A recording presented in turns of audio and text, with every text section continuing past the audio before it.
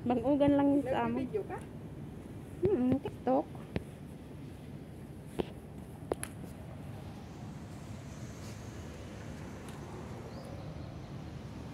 O, diba?